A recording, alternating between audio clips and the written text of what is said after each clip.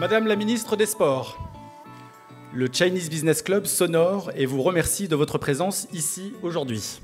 Les Jeux d'hiver de Pékin en 2022 devraient générer des partenariats franco-chinois profitables pour tous. Madame la ministre, je vous cède la parole.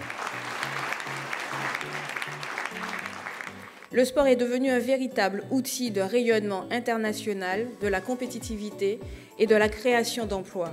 La France et la Chine partagent une ambition commune, celle de placer le sport en tant que nouvelle source de croissance.